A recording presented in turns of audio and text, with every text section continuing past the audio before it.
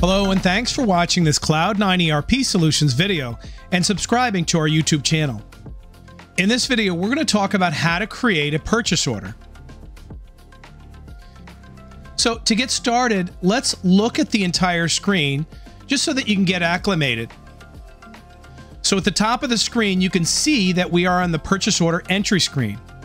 If you click on purchases, you can see in the purchases workspace under transactions, we have purchase orders. Now, this will bring up the list of purchase orders that you have in the system, whereas this will create a new purchase order. And that's where we're at right now on a new purchase order screen. At the top, you have the ability to delete a purchase order or add a new one if you have an existing record open. So you could look up an existing purchase order, copy it, create a brand new one, and then hit paste. Or you can save a purchase order as a template. If it's something that you order all the time, you can build a nice purchase order with all the details and then save it as a template. You could later retrieve it right here in this menu. Notice the menus over here on the right. This gives you all the available options based on the purchase order and its status.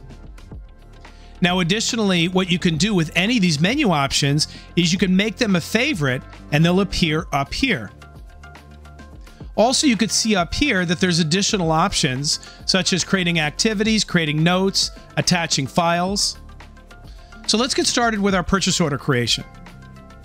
So at the top of the screen, you could see we're on type normal. Today, we're going to create a normal type order. But you can also have dropship type orders. Those are linked from sales orders. We integrate with our project accounting, so you can have project dropship orders. So that is product comes in from vendors and is associated with a specific project. We have blanket orders where you get a certain contract with a vendor of certain quantities and certain prices, and you draw down on that blanket order until such time where all the quantities are completed. And then standard purchase orders, where it's a template from a vendor, very much like a blanket, except it never closes and there's no expiration date, unlike a blanket order. So, a normal order we're going to create we have our date here, that defaults to today. We have a delivery date from the vendor. We can change that based on the vendor's promise. We'll select the vendor here, typing in a few letters of the vendor's name. We'll do a lookup. Or you can click on this button and get more of a context browser where you can do certain things like create filters. You can scroll over, get more information about the vendor, and even click on any column and filter by it or sort by it. So again, what we're going to do here is type a few letters of go to vendor, which comes up. This right here is the vendor location to where we're going to receive these items. Normally we select main here, but you may add a few different locations and then you could select them here. The owner of the purchase order is whoever's logged in. So this is your purchasing rep. And if you're using multi-currency, you can see that setting here if the vendor's set up for it.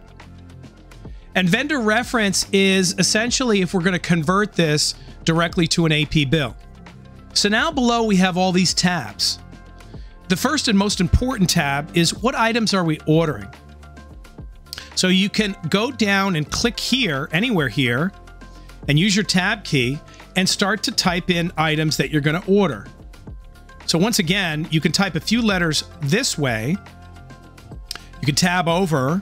If you use the down arrow, it'll create a new line.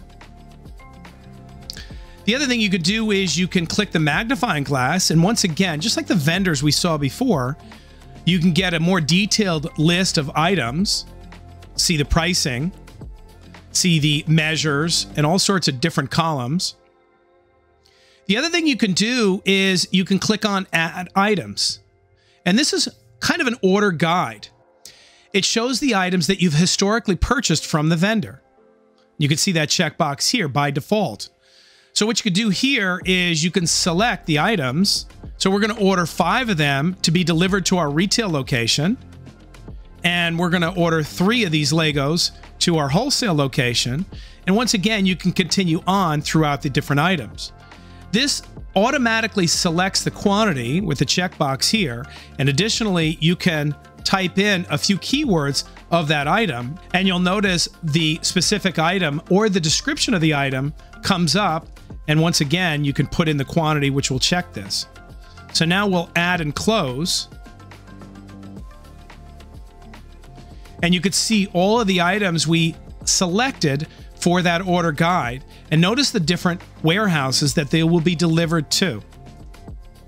But for the purposes of this purchase order, we're going to delete the retail items. So we only have these two items going to one warehouse. That'll set up for another demo later on. So now again, at the top of the screen, you notice save and you notice save and close. We'll click the save button here.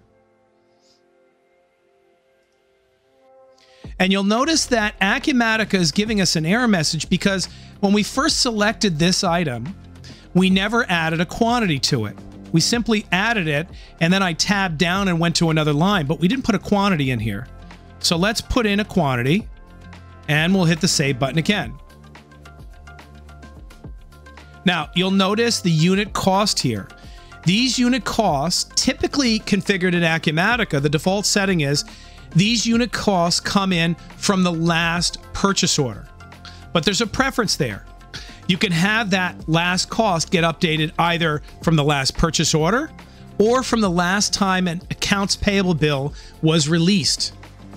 So if we understand the workflow here, this is a purchase order. It will be received into stock, and later it'll be matched to an accounts payable bill, which will be posted into the system to hit our accounts payable so that we can pay it back to the vendor.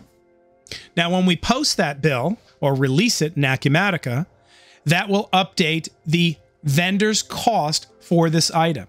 And that's where we're getting this price here. Now, there's a lot of different tabs here, and some of them may be applicable to your business and some may not. For example, taxes. If you're in the US, typically you're not going to track taxes. However, if you're buying merchandise from a vendor internationally, you may have value added taxes, and those can show up here.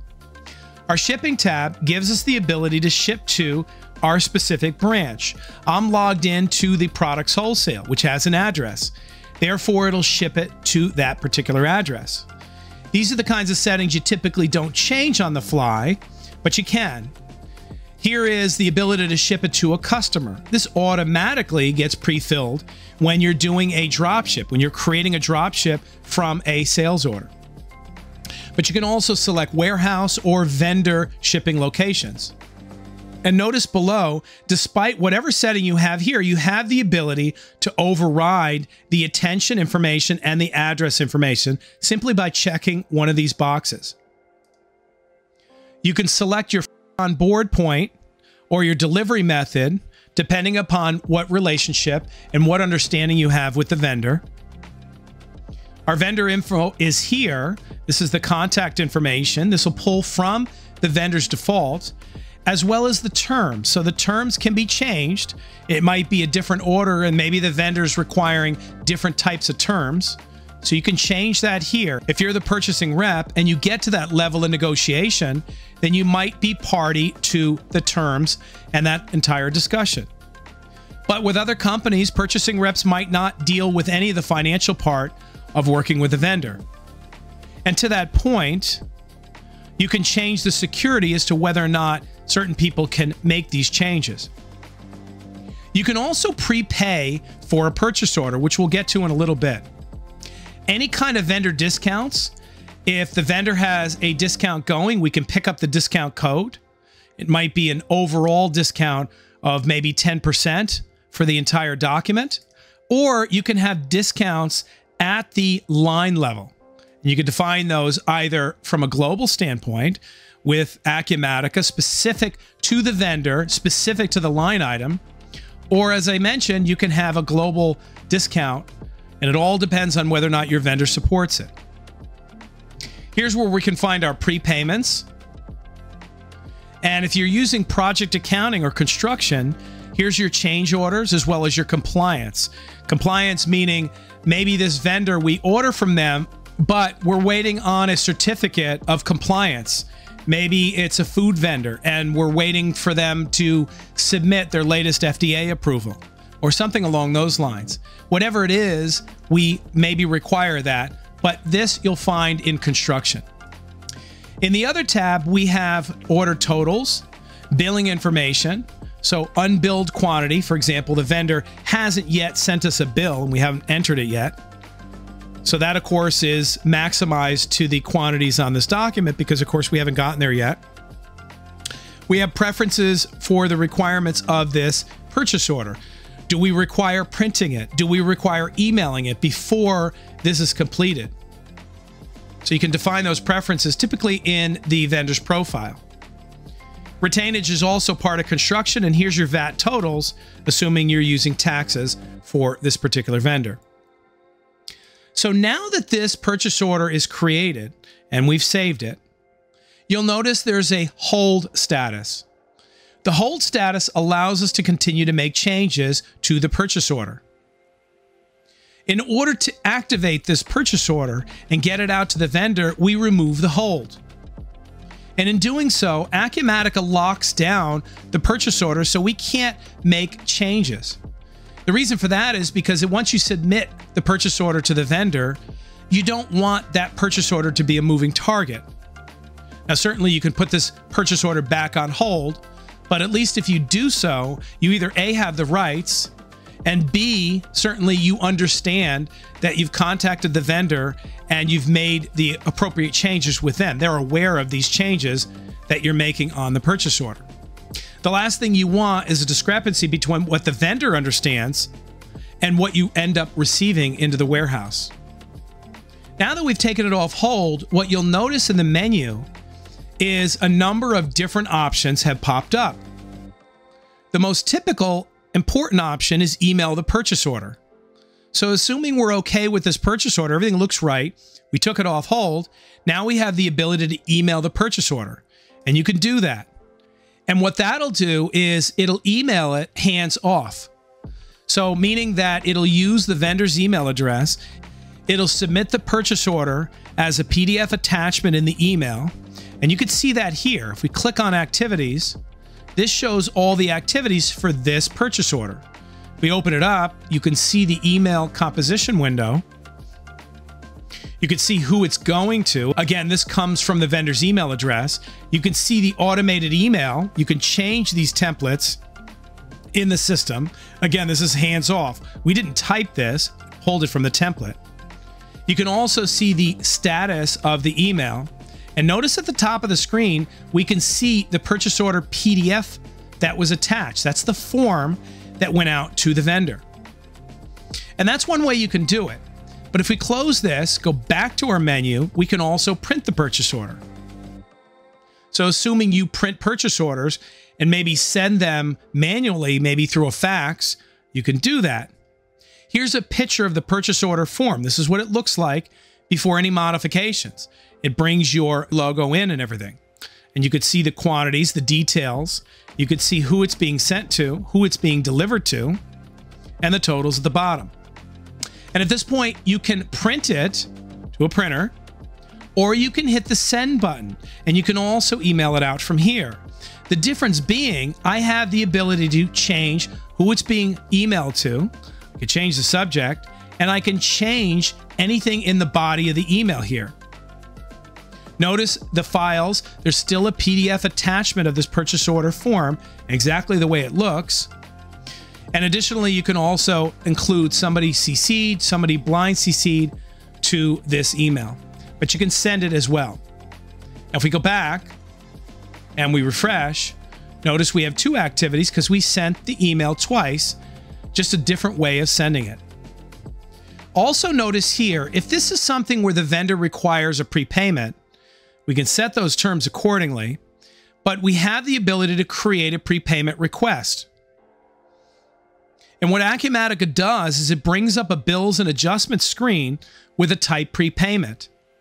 And essentially it creates this because then we could pay this prepayment request. We won't go into details on this. Look for our other videos on it. But this is how you would do it. And this will get associated to the purchase order so that when the bill is finally created, this prepayment will automatically offset that bill. Lastly, you'll notice our side panel here. So this shows us the preferred vendor items, the items that this vendor normally sells to us. Now we saw it before under add items, but you can see it in a split view here using this side panel. Additionally, we can click on vendor details. And if we have the rights, it will bring up this vendor's AP history. And it'll show by default any bills that are outstanding. We could see that here. You take the bill and then there's a debit adjustment, a credit to the vendor, and you could see our total balance is $400. And this might be helpful to purchasing reps again, so that they can see when they're negotiating with a vendor, if they say, oh, well, you owe a certain amount of money, you can verify that and also see if it's been updated in your system and if a payment's going out. To see if a payment's going out, you can check off this show all documents. And now you can see payments. Payments typically have a zero balance because they're completely applied to a, an AP bill. And you can tell them that, hey, I have a check 2557 for $4,500 that just went out in November. So you should have that. And that'll help the purchasing rep continue their negotiations with the vendor and allow this purchase order to get released so it doesn't hold up anything. Additionally, we have another side panel which shows you any receipt lines from the purchase order. This is to say that when we're looking at the purchase order, understanding whether any quantities have been received and their details, we can see that from here. Additionally, if we scroll over to the right, you can see quantity on receipts. Because it's a new purchase order and because it's open, we know that this is a fresh purchase order and we know that there's no quantities received, but you can see that at the line item here. So that's how we create a purchase order. That's how we create a prepayment request. That's how we email out the purchase order. The differences between keeping the purchase order on hold and removing the hold so that it now is open. We can track our activities up here. We can drag and drop any files to this top here. I talked to you about the notes. You can add notes at the top. And additionally, you'll also note that all these line items, we can add notes here. And you'll notice that even though I can't make changes to the body of the purchase order or to the lines, I can add notes and you'll notice that right here. See, there's a note here. It's been colored in for us, so we know it's there. And there's a note at the header. Keep in mind that Acumatica's typical purchase order printout will show this note as well as this note. Now, if you modify it, you can take that out. But if we print the purchase order again, notice at the bottom, you can see the purchase order note. And on the line, you can see the line note. Now, if you want to use the notes for internal information, you'll want to modify this report and pull out this field so it doesn't print those notes. So that's Purchase Orders 101. Thanks so much for watching this video. And if you have any questions about this or anything else Acumatica, feel free to reach out to us. We love to hear from you. Be sure to click the like button and subscribe to our channel if you want to get notified on all the latest videos. Thanks again and have a great day.